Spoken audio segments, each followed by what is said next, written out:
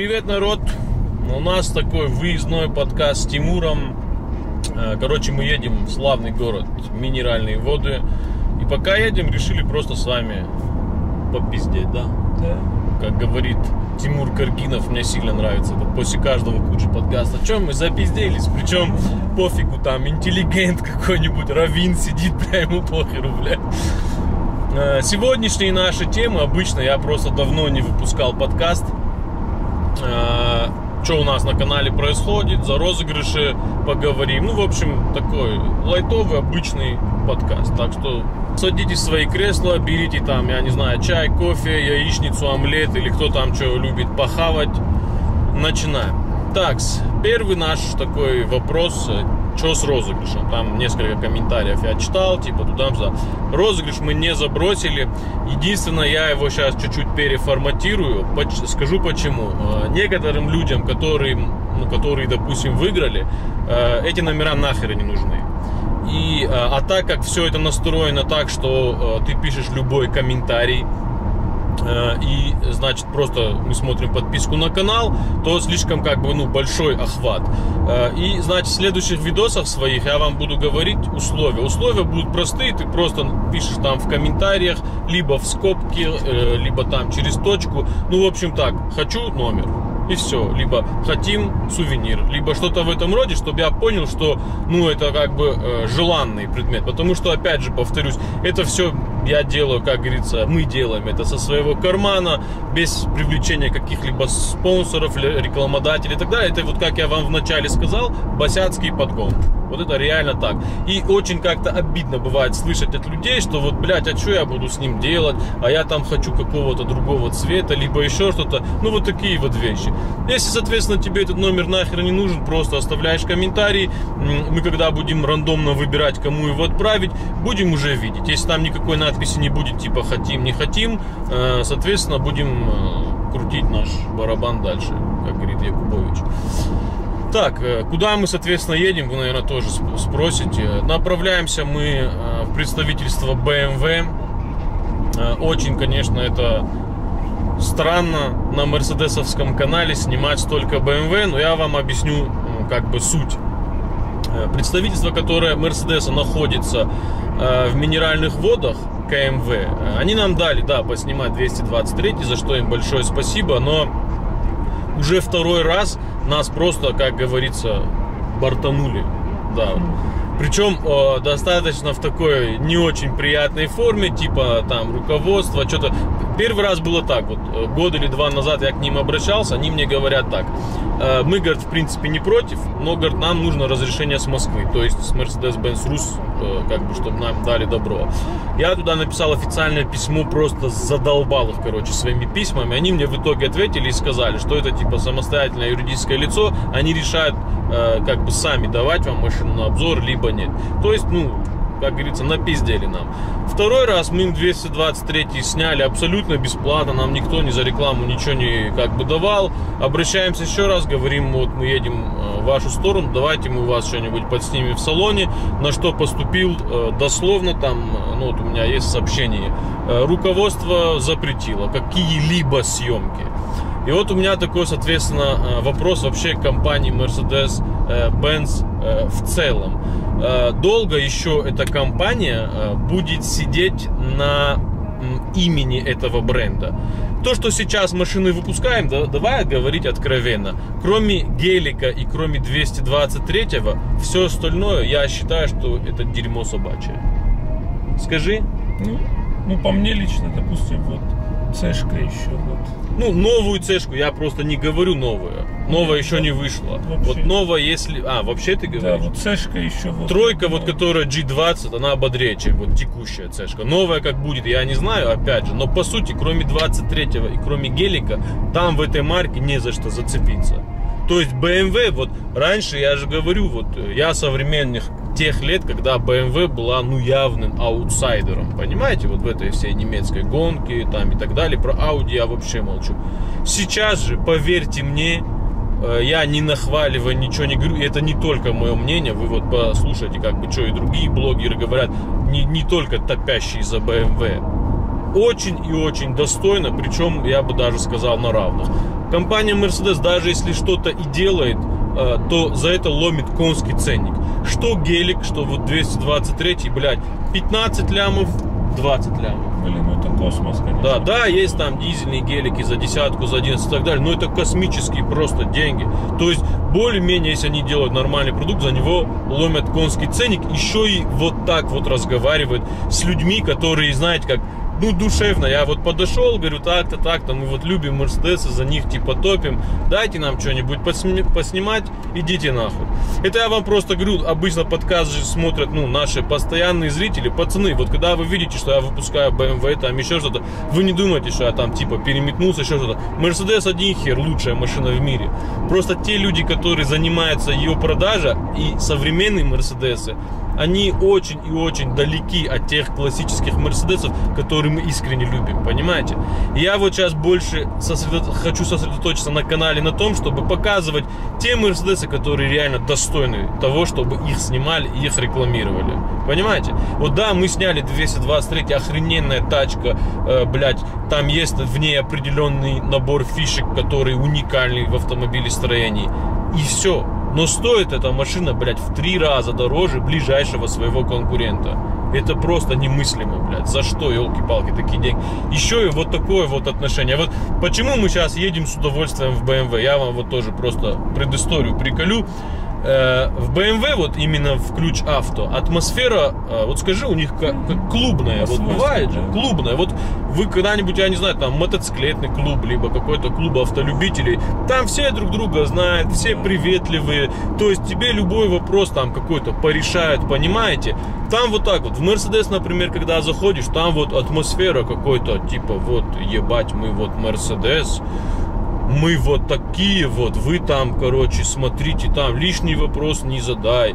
Это вот, помнишь, мы снимали, какой-то тип подходит, блядь, просто съемка ведется в автосалоне, а мы как еще снимали, вы же видели наш видос, просто мы нам завели машину, мы там посидели, двери эти подкрывали, какой-то тип в костюмчике сразу подошел, так, что за съемки, блядь?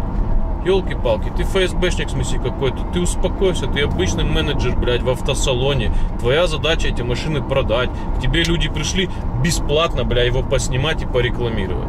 Вот представь, я вот, я почему говорю за BMW. В BMW мы, бля, пришли, типа, хотим поснимать. Бля, они нам дали на съемку в первый же день самую дорогую машину, которая была у BMW. Вот это только говорит об M8 Grand Coupe. Потом я говорю им, типа, ну, из одной машины мы, говорю, проехали почти, говорю, 300 километров, говорю, можно еще что-нибудь? Он говорит, бля, любую, говорит, берите, вот любую, на что, говорит, ты покажешь, мы ее выгоняем, моем и, говорит, типа, снимать. Вот представляете, мы им это реально поснимали от души, вот как, ну, мне понравилось, если честно, особенно вот семерку, блядь. Сейчас нам, блядь, просто люди звонят и говорят, вот у нас есть уникальная, блядь, BMW X6M приедьте, поснимайте. Блядь, ну вот это отношение. И вот как после этого не топить за BMW? Хоть я, я же говорю, я не переметнулся, Мерс, блядь, лучше все равно. Но отношение вот это, вот это отношение душевное, именно человеческое, вот поэтому вот так вот они в России делают Мерс, понимаете? Вот поэтому. А у Мерседес просто почему такое еще отношение, я вам скажу. У них помимо автомобильной темы, у них есть и грузовики, да, у них есть вот это, то есть у них еще откуда-то доход идет, и они смотрят на итоговые продажи, то есть прибыль, допустим, компании, сравнивают ее с BMW, и типа, ну да, мы, может быть, там где-то что-то лидируем. Хотя, по сути, работа никакая не ведется, блядь. Понимаете? И вот эти блогеры, там вот все Литвина, блядь, обсуждали, да, понятное дело, он это все сделал для хайпа, чтобы реально хайпануть на этом э, и этот. Но и э, этот факт, что его, на него, бля, болт положили, это тоже не надо убирать, понимаете? Человек много раз обращался, никто не откликнулся на его эти. Куда вы, бля, елки-палки, блядь, топовый блогер, а вы с ним, блядь, обращаетесь, как будто у вас все такие клиенты, понимаете? Вот такого вот, это просто капец. В BMW же, я же говорю, вот там реально клубная атмосфера. Ты вот приходишь, тебе по-дружески, они вот на своей вот этой фанатской вот этой теме BMW, вот понимаете? Вот они далеко продвинулись, очень и очень далеко. А в Мерседесе они долго еще будут, вот это мне кажется, типа вот раньше у нас Пафос были... какой-то вот там висит, да? Там именно пафос, да. Да, у них вот и салоны пафосные, да, и телки да, их любят, да. еще что-то. За эту тему, кстати, прикол. Короче, когда снимали 223, сидим с Тимуром вот так вот, ну, Тимур там под съемку идет, и в моменте открывается задняя дверь, А я так в зеркало, ну, посмотрел, и садится какая-то девочка. Такая, видно, инстасамка какая-то, хрен его знает. Берет свой так телефон и щелкает, короче. Так быстро прямо она так прощелкала. Ну, машина же закрыта бывает туда. Да, машина эта 223 он был закрытый для всех, как бы нам вот открыли. И она быстро пощелкала, так на нас все посмотрела, вот отвечают такие вот типа. И вылезла. Я просто охренел. Ну вот для таких эта машина реально впечатление производит. BMW, он больше заточен именно вот про, э, как сказать, он про водителя, про любителя автомобилей, понимаете? Mercedes это пафос, как ни горько это признавать, но современный, я говорю, Мерседесы. Старые Мерседесы, они, конечно, BMW, блядь, вот так вот делали, да? Спорим, да. Тимур просто БМВшник. Но современный Мерс это вот про пафос. И вот я же говорю, это, чтобы вы меня правильно поняли, это сейчас не то, что обида там типа отказали, еще что-то. Мы-то еще этот вопрос, может, и пролоббируем как бы через более верха, посмотрим, получится либо нет. Но на данный момент вот такое вот отношение. Так что если будете видеть почаще BMW, не обязательно, блядь, проматывать. Посмотрите, прикольный ролик будет точно. Так, дадим Давай, слово. Тимуру. Насчет чего? Насчет Бэхи? Что-нибудь прикалывай, Тимур. Он, кстати, видос будет практически без склеек. Ого, ничего себе. Давай вот пару вопросов я вот выбрал. Это ты где смотрел? Вот на под видео. Нам, кстати, написал наш новый хороший Кент Ну, Марат э, Борода. Он, короче, отметил, э, ему, видимо, закинули не, БМВшники. не, смотри, что за тема. Да. Он, его же, он же кентуется с э, вот тюнинг, что есть. Да. Э, Вади- этот, э, Вадим. А он за Мерси топит. И они там что-то поспорили. И... ББ тюнинг это где? У нас? Не, он в Питере. А, в Питере? Да, ну, чё? тоже с Владика парень.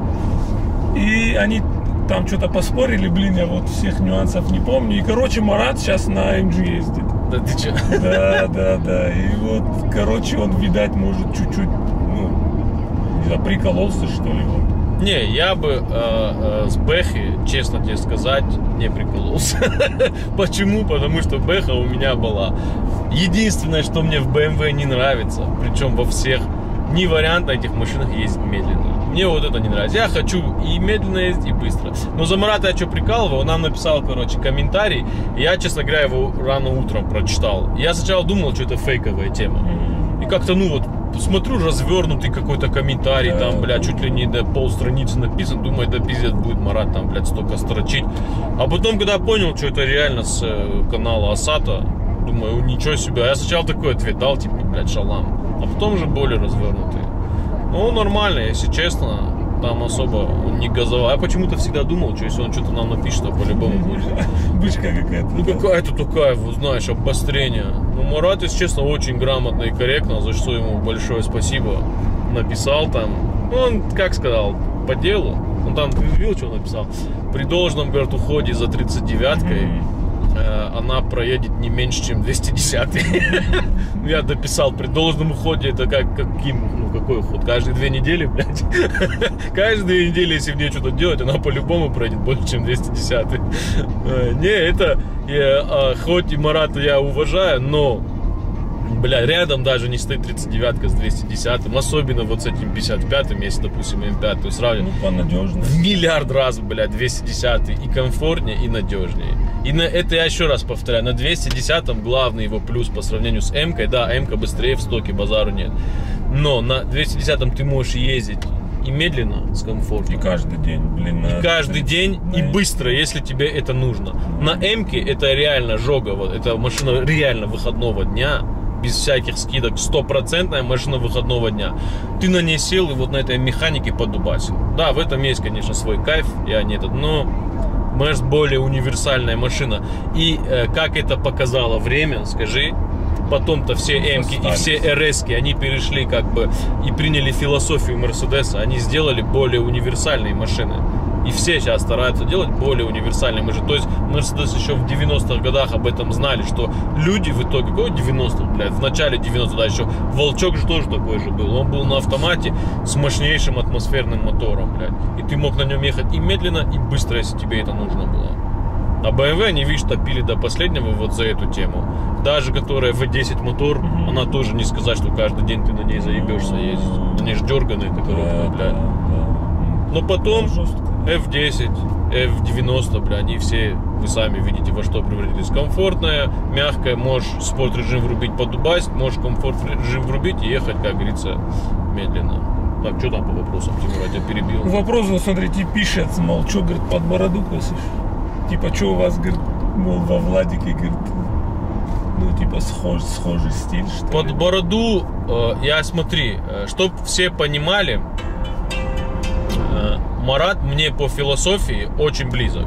У нас еще есть один блогер Осмедиа, Заур.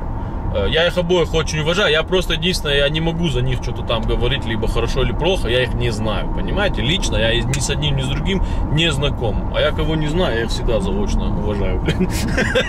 Кого знаю, я их наоборот ебашу. Не, я, я, Марат мне по философии ближе. Он так же, как и я, любит там э, немцев старых. Он свою BMW там восстановил. Потом он ненавидит АвтоВАЗ. Я точно так же ненавижу АвтоВАЗ. Но то, что я по ним, под него не кашу, это можно видеть то, что я практически перестал снимать АвтоВАЗ. Вот я реально АвтоВАЗ ненавижу. У меня большое бывает желание снять, например, обзор на Весту, обхуесосить ее. Но я просто понимаю, что это будет очень сильно похоже на Марата. Понимаете?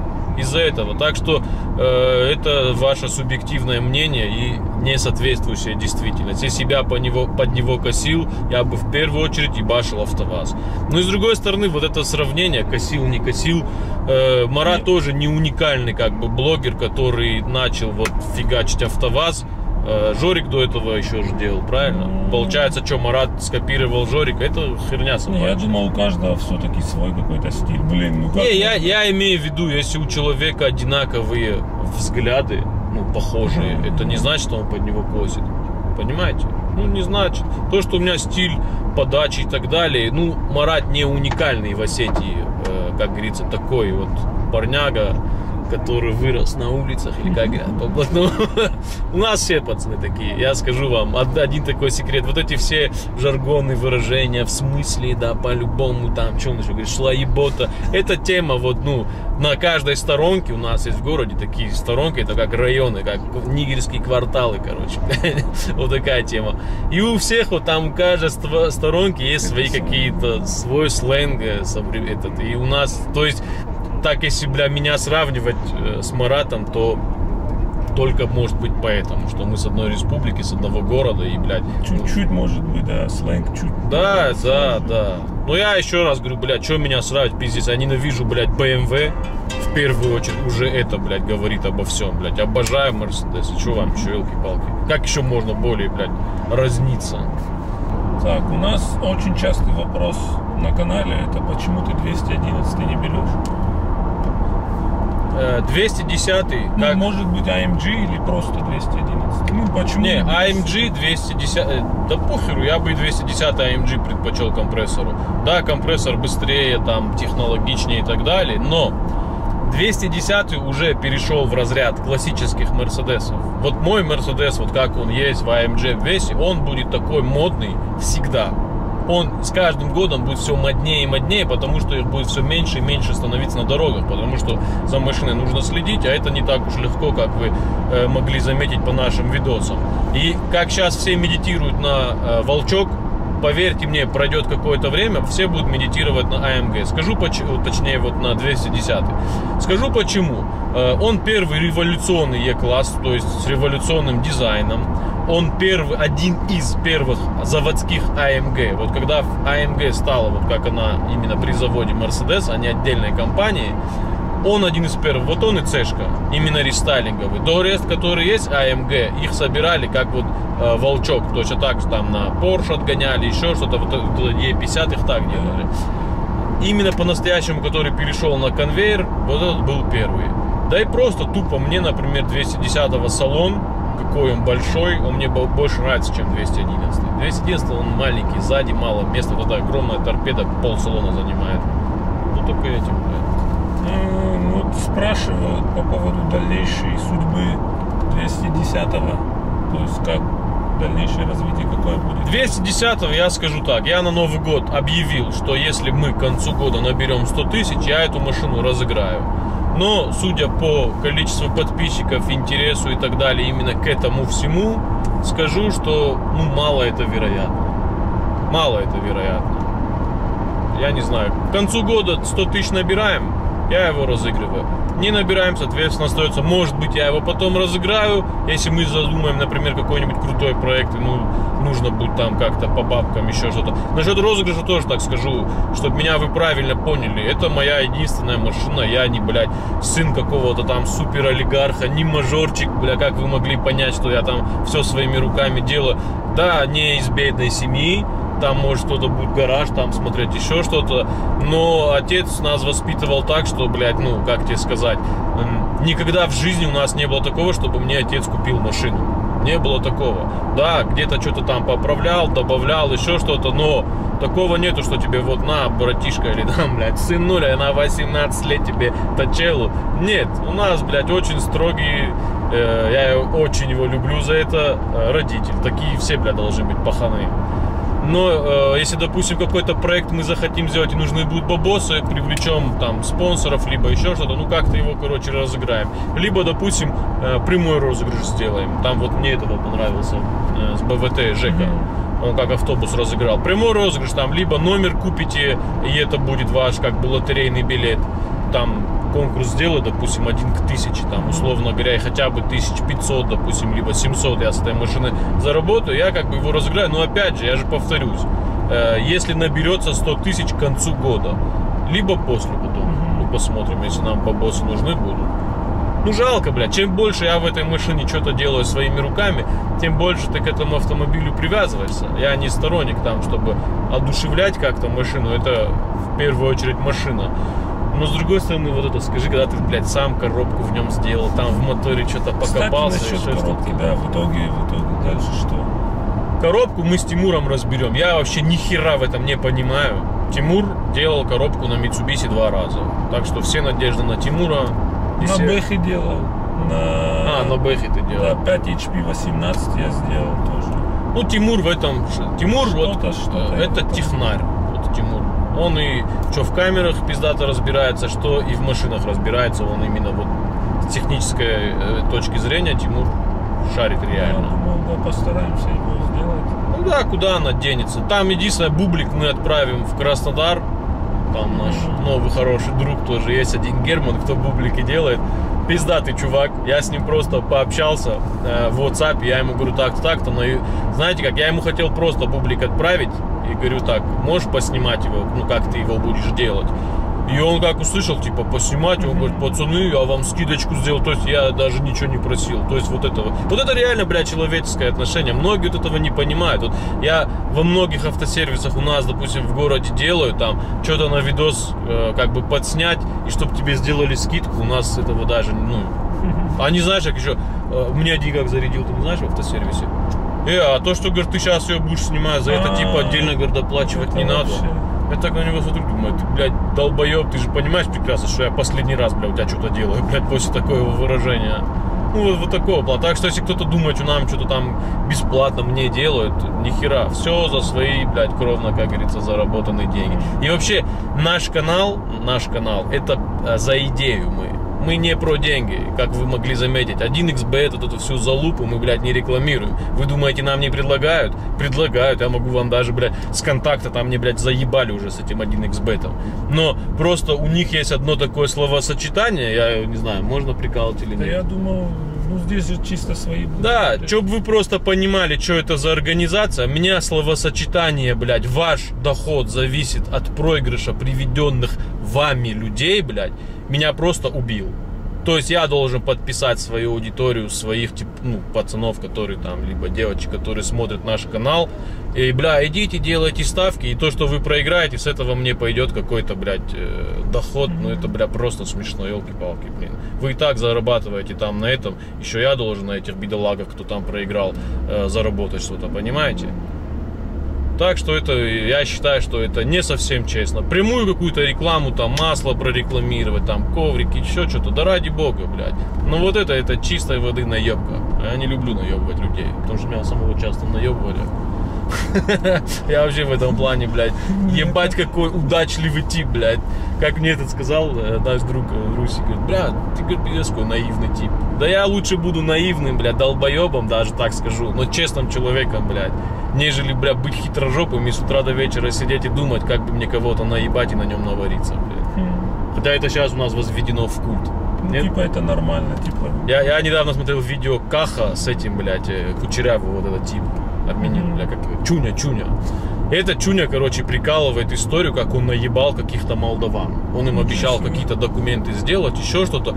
И он стоит и прикалывает, а знаешь, как, типа, вот я их наебал, типа, этот. И ведущий тоже, типа, ну, каждый крутится как может, Да, блядь. типа это нормально. Ты наебал людей, ебаный в рот, бля, как крутится, как можешь, где же честность, блядь, елки-палки, что с людьми стало, блядь, они, бля, с ума, что ли, посходили, всех денег в мире не заработаешь, да и с собой их туда ты не унесешь, но когда тебя уже, бля, будут нести, блядь, там будет, говоришь, он гандон был всю жизнь, блядь, да лучше, блядь, сдохнуть, ей богу, чтобы так, блядь, уйти отсюда, вот с этого мира, блядь, надо себе оставить какое-то хорошее впечатление, понимаете, в первую очередь. Этот пишут, спрашивают, откуда, говорит, пацаны эти нарисовались на последнем видео. А, мы откуда Не, нарисовались? не, там пацаны. А, это наш подписчик Руха. Руха, привет тебе. Это наши подписчики из Дагестана. У нас, кстати, много оттуда э, пацанов вам. Салам алейкум, как говорят, да? Алейкум. Просто он пацан позвонил, он с Пятигорска, по-моему. Типа так-то, так-то познакомиться, подъехали, постояли, попиздели, пофоткались. Да, Кстати, в. Инстаграме постоянно. Да, он очень активный в Инстаграме, у него у самого там такой канал, он сейчас только начинает вот эту тему автоблогерскую, там что-то он поспрашивал, я ему реально от души. Вообще, я на будущее скажу там, кто нас смотрит, блядь, пацаны, кто хочет этой темой заниматься, вы любите машины, как я, искренне, допустим, не про деньги, вы не думайте, что вы на этом миллионы заработаете. Этим нужно заниматься от души. Вот ты добьешься успеха только в том, что ты готов делать бесплатно. Вот сейчас все, что мы с Тимуром делаем, мы это реально делаем бесплатно. Даже, блядь, сами втапливаем туда, причем нормальные такие бабосы. Только так. А если ты изначально сюда придешь чисто ради денег, ради какого-то хайпа, известности, блядь, ну, хуй знаю. Мне, например, это вообще не надо, честно вам скажу. Даже когда кто-то подходит, там еще что-то, мне это не очень нравится. Я, конечно, не... Вот бывает же сноб там, Ну типа, да. не под... Ну, блядь, не очень мне это как-то по душе. Я хочу обычной своей, блядь, обычной жизнью жить, блядь, ну, без такой вот прям суперизвестности, честно говоря. Вот по Марату я просто знаю, кто-то прикалывал, типа, к нему вот подходит, и вот он, говорит, куда-то зашел, и его, говорит, прям заебают. Руха Да, прикалывал. И его чуть заебали, вот он с семьей или с кем-то, говорит, там был, он то ли в кафе, или в Рестиково, я не знаю. И он, говорит, один подойдет, он, говорит, ну, постоит, поулыбается, типа, сфоткается. Потом второй, ну, блядь, что это за жизнь, скажи, блядь. Ты никуда не зайдешь. Ну, я... Может, Журик из-за этого и слился. Жорик, блядь, слился из-за того, что в моменте пой- поймал звездочку. Вот прям жесткую, нет? Когда он начинал там... Ну, мы с тобой обсу- обсуждали тот момент, когда он М5 продал, да? Не, почему пошел по пизде канал, это ясное дело. Он просто болт положил на свою аудиторию. Но вторая его сторона э, личности, он очень скромный парень. Я с ним как-то даже здоровался там, ну, заочно, давно еще. Он реально в жизни очень и очень скромный такой парень, приятный, все. Ну, в Ютубе, что он там говорит, как вот это все преподносит, что он там все схемы Ютуба знает, что он там пиздец. Эти все схемы Ютуба никто не знает. Даже самые старожилы Ютуба, они вот эти точно алгоритмы, блядь, этого всего никто не может предугадать заранее, зайдет твой видос или нет. Это как любое творчество, ты его делаешь от души, закидываешь, заливаешь его в YouTube, а там уже аудитория решает, это топчик, либо это дерьмо собачье. Да? Ну, так. Так, что еще приколоть? А, по нашим проектам, короче, ближайшие видосы, которые выйдут. Короче, я поснимал на камере, мы сделали, я сделал, ну, мы сделали очень крутой э, видос по замене масла в коробке АКПП. Очень реально полезный. Много же очень споров ходит, как менять частично, либо полностью, либо еще что-то. Я загнал специализированный центр. Сначала попиздел с тем мастером, который здесь именно в камере менял коробку. Мы его поменяли эту, это масло через аппарат. Потом я поехал к нашему топовому, блядь, диагностику, которого знает вся республика на Барсе Марат, блядь. И Марат еще там свои какие-то дополнения сделал, хотя в каком-то моменте он проебался очень сильно. Ну, короче, такой вот видо- видос будет лайтовый, я думаю, вы приколитесь, вы же больше технически. Он просто, знаете, как он подходит под все марки машин, просто на примере Камри. Понимаете? То есть, как вам лучше в э, вашей машине менять масло, я думаю, после этого видоса вы, у вас уже не будет каких-то вопросов. Э, потом после него будет видос про полировку и вообще, как следить за состоянием кузова именно бюджетно. Понятное дело, сейчас всякие детейлинг студии, они, э, значит, рекламируют вот эту тему, типа, там, жидкое Керамика. стекло, керамика, пленка и, блядь, сантек, еще что-то. Но стоит это просто конских денег. Пленка, например, вот эта полиуретановая, которую они так э, модно, бля, рекламируют, просто морду ей забронировать стоит тридцатку, а то и 40. Я, повторюсь, на камере я покрасил, блядь, капот, передний бампер, пороги, задний багажник и задний бампер за 25 тысяч рублей. Пол машины я, блядь, покрасил. То есть необоснованная какая-то цена. Еще и самая фишка в том, что этого покрытия хватает ровно на 5 лет. Через 5 лет оно начинает желтеть, и велик шанс, что если вы его не снимете через 5 лет, что он слезет с краски. Он просто, говорит, клей впитывается в лак, и когда ты его снимаешь, когда он долго стоит, сотрешь вместе с краской. Полностью полиуретановой пленкой сделать машину 200-300 тысяч стоит. То есть это вообще конский денег. Полировка, например, давай тоже, да, спросят. Во-первых, полировка ебет лакокрасочное покрытие очень сильно. Тем более на японцах, здесь оно вообще тонюсенький и лак, и сама краска, шляпа, это все знают. Ты берешь и просто слой снимаешь э, определенный лака, то есть его делаешь еще тоньше. А то, что на него наносят керамику еще что-то, основной плюс у керамики это гидрофобный эффект, то есть с нее катышки, э, эта вода слетает, она тяжелее пачкается, легче моется. Но и то этого эффекта хватает ровно на полгода, ну, максимум на год, и то при правильной мойке. В общем, вот такой вот план. Там есть третий вариант, который я вот подробно, именно который я использовал на этой камере. Э, Это тоже как бы в видосе будет такой вот вам приятный этот. Там хороший такой парень, э, наш тоже новый друг, вообще у нас бизнес, друг друзей, блядь, э, по этой теме развелось. Хороший очень парень, без пафоса, без ничего. Вот он реально меня понял, как я. Я к нему пришел, говорю, бюджетно. Вот мне надо все максимально бюджетно, вот, блядь. Он это все Ну, сделал. чтобы работало. Да, вот смотрите, он мне сказал ценник сначала э, 7 тысяч рублей, чтобы это все сделать. То, что я на ней сделал, вы это в видосе увидите. Мне еще скидос сделал за пятерку, короче. Это все забабахали. И вы, по сути, это, это реально вы можете делать даже сами. Понимаете? Вот все, что он мне показал, я могу спокойно любой денек выбрать в гараже у себя чик-чик, и у тебя машина будет прям как целочка выглядеть. Кстати, Бензиме не писал. Брательник. Я писал, отправил ему Hi, brother. Да, да, да, да. Ну, наверное, ну сейчас я, блядь, толстый. Вот если я похудею, Надо блядь, скинуть, да, да, десятку. надо скинуть. Кстати, сейчас... Проблема личного веса, еще вам так скажу, почему там мне... Типа Дим мне, короче, пишет такой противный комментарий. Вот я честно вам скажу, пацаны, больше всего в жизни, и сам я так никогда не делал и не делаю, нельзя обсуждать внешность человека. Да, ты можешь сказать, если человек неопрятен, там от него воняет, типа, бля, иди, он вонючка, нахуй, помойся, либо, бля, рот свой помой. Ну, что-нибудь в этом роде, что тебе доставляет дискомфорт. Но если у человека лишний вес, либо еще что-то, поверьте мне, это очень больно воспринимается у людей. И, во-вторых, какое ты имеешь нахрен право человеку говорить, что он жирный, не жирный, вот в этом плане. Это очень некультурно, блядь, реально. И тип мне пишет, бля, ты там что-то, знаешь, как он мне писал, со всем, говорит, уважением, но ты, бля, выглядишь как семимесячная роженица. Он сам, походу, типа, здоровый. Я ему написал, я говорю, послушай, бля, я лучше буду семимесячной роженицей, чем, блядь, вот этим ебантеем, который в спортзале, вот, бывает же, около этого, как телка, блядь, фоткает себя там без майки, бля, еще что-то. Ты, блядь, мужик или, бля, инстаграмщица, ебаный в рот. То есть, понимаю, я, конечно, все прекрасно понимаю, нужно держать себя в форме, ну что поделать, если ты хаваешь, блядь, пироги и шашлык, если ты любишь вкусно поесть, то ты будешь выглядеть вот так вот. А я реально люблю вкусно поесть.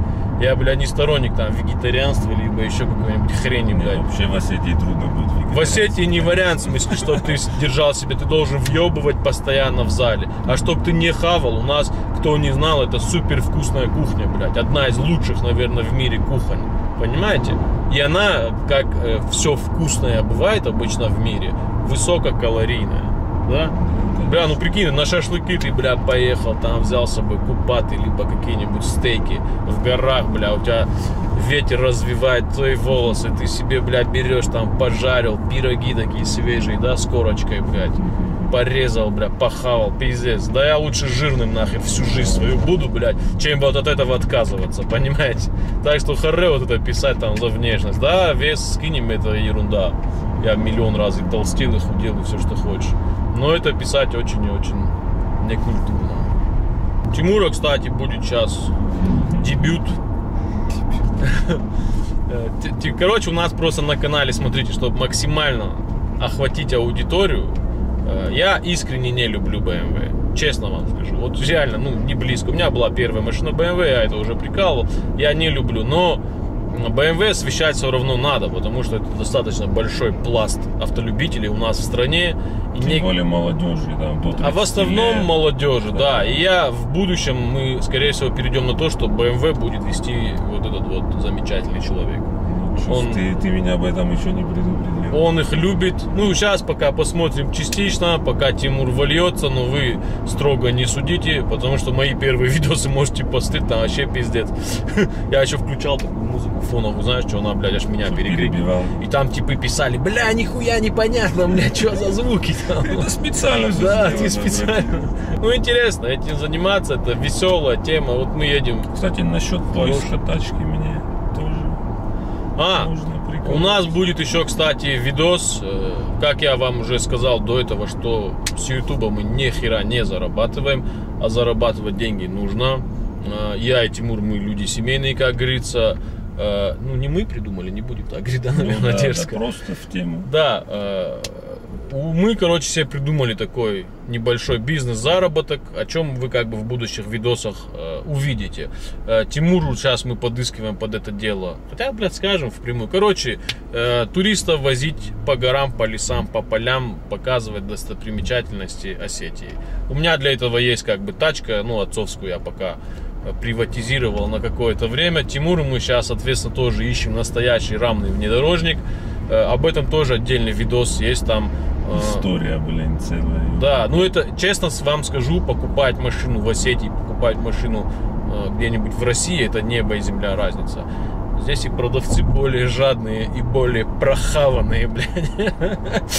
Как это на GX. Короче, GX один смотрели, и там мужичок такой, ну, в возрасте. И я его, Тимур его спрашивает, типа, ремень ГРМ менял, говорит, ты? И он, да, говорит, 10 тысяч назад. И он говорит, не, не то, что, говорит, снаружи, типа, ремень, внутри мотора, там вот этот 4,7 узетовский мотор. И он говорит, да, да, 10 тысяч назад. Вот его надо было спросить, а где он находится? Но он бы тебе сказал, бля, в моторе, братан. Ну, у нас вот такого плана продавцы. То есть, у нас на машинах ездят до Талова. Никто в этих машинах ни хера не делает. Вы думаете, вот я за своим 210-м хорошо смотрю, это мягко говоря. У нас за машиной очень и очень редко кто так следит. Все их эксплуатируют, блядь, по полной. А когда уже на ней вот-вот должно что-то набыкнуться, они их Надо сливают. Ну, это в России тоже практикуют эту тему. Ну, я, честно говоря, вот в ахерах. Как так продать, блядь, Ну, то есть мы сейчас конкретно столкнулись с тем, что надо купить внедорожник, да? Надо Блин. купить внедорожник за определенную сумму денег, Да, а эта да. сумма денег э, вообще небольшая, короче, да. скажем так. Ну, в итоге посмотрите, там видос выйдет, что у нас получилось. По Кабарде сейчас едем. Обожаю кабардинских гаишников. Им, блядь, большой привет. Их ненавидят даже местные пацаны, блядь, кабардинцы. У меня друг есть кого. И он мне прикал. Вот которые именно на трассе стоят гаишники, это самый, блядь, видимо, элитный отряд, блядь, шкуродеров, я бы их так назвал. Отбирают. Тип меня один раз, знаешь, за что остановил? На приоре, я, короче, у меня же хэтчбэк приора была. А на приоре, ты же знаешь, что заднюю полку убирать надо по-любому. Она, бля, гремит так, что капец. Ее все убирают. Во всех приорах хэтчбэк нет задней полки. Туда ставят деревянную, карпетом обшитую, с колоночками. У меня такая стояла. А когда ты ее ставишь, то ремни безопасности ты как бы, ну, по-любому снимаешь, потому что они на старой полке там стоят, и не вариант их уже поставить.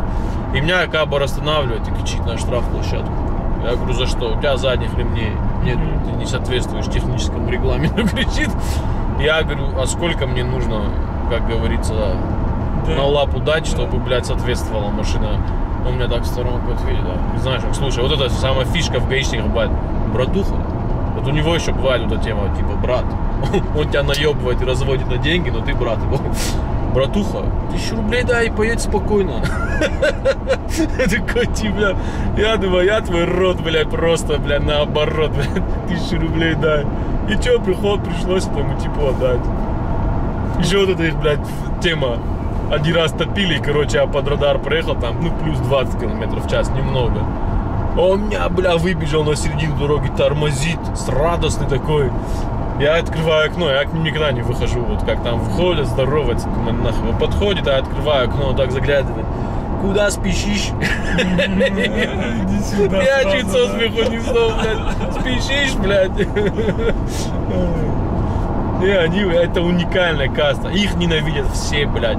Э, С Чечни, блядь, с Дагестана. Все, просто вся дорога в Россию идет вот так вот. И здесь, я же вам говорю, самые, бля, пиздатые гаишники. Вот просто, блин, капец. Здесь все дорога, почему? Это для них типа хлебное место. Сейчас более-менее ее еще расширили в каких-то местах, но в основном она идет вот это вот шашки уебищные, где тебе обгон разрешен, там резко закрывается. Один раз я на 5 тысяч тоже как попал. Я две фуры обгонял по пунктиру, а там реально нужно было ускориться. И закончил маневр, вот буквально я 3 метра заехал на сплошную. А они эти все места прекрасно знают, у них прям камеры вот так вот. И он меня останавливает, и он мне, знаешь, как показывает. Идем, я тебе видеозапись покажу. Я тебе клянусь, там видеозапись была не хуже, чем у Давидыча, блядь, видео. Там прям было видно все, и мои номера, и как я заехал через сплошную. Ну, то есть видеозапись ты смотришь, она, знаешь, как вот так из-за холма ты выезжаешь, как бы, я не видел дальше этот. И получается, что я на встречке как бы выскочил из-за холма, прям по бычу. Ну, видеозапись там была пиздатая. Они в суд все передали, на 5 тысяч меня оштрафовали. Я же говорю, здесь, блядь, я могу миллион этих историй рассказать, какие здесь, блядь, с этими гаишниками были. Мы один раз с типом ехали, и у него 200 был, А. кстати говоря, новый. И он остановил и что-то качает, качать не получается. Я подхожу, говорю, блин, я говорю, блин, мы долго уже с ним качали. И стояли, и вот он, видать, уже, ну, все закончилось, у него аргументы закончились. Он говорит, ну, посмотри, говорит, типа, на какой, говорит, ты крутой машине новой едешь. Типа, ну, что, говорит, ты хочешь? Ну, посмотри, какая хорошая погода, ну, дай что-нибудь, говорит, елки-палки, блин. Не, хамские водители, я ненавижу, честно говоря, гаишников. Вот у нас в городе более-менее, типа, хотя наших тоже, если честно. Не, ну все равно, я же говорю, если ты нормально диалог ведешь, блин, ну Ну, наши, Не знаю, ну, на- не нашим вижу. я сразу говорю, братан, если он что-то начинает Нет. газовать, я, не, я им говорю, «Ш- YouTube смотришь, ты говорю, да, я говорю, звездой Ютуба сейчас ты станешь. И он, когда YouTube слышит, уже сразу ну, успокаивается.